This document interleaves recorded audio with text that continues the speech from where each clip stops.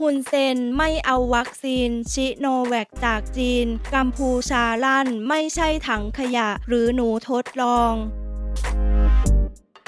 จากกรณีสำนักข่าวรอยเตอร์ รายงานผลการทดลองทางคลินิกของวัคซีนต้านโควิด -19 โคโรนาแวคโดยบริษัทชิโนแวคบริษัทด้านชีวเวชภัณฑ์ของจีน ซึ่งทำการทดลองระยะท้ายในประเทศบราซิล พบว่าประสิทธิภาพในการป้องกันการติดเชื้อของวัคซีนนั้นน้อยกว่า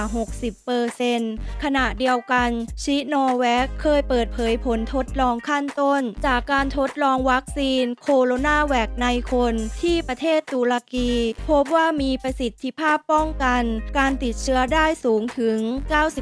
91%และล่าสุดมีรายงานว่าสมเด็จฮุนเซน นายกรัฐมนตรีกัมพูชา ประกาศว่ากัมพูชาประกาศไม่รับวัคซีน ชิโนแวคจากจีน ซึ่งกัมพูชาไม่ใช่หนูทดลอง และถังขยะของใคร จะรอวัคซีนจากองค์การอนามัยโลก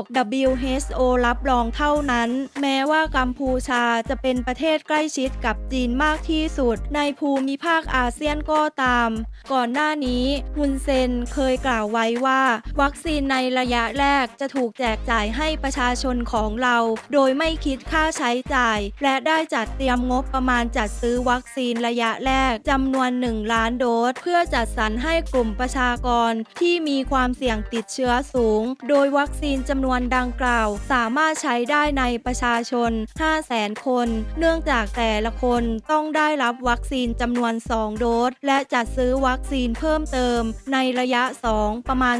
2-3 ล้านโดส ขอขอบคุณข้อมูลจากมุมข่าว .com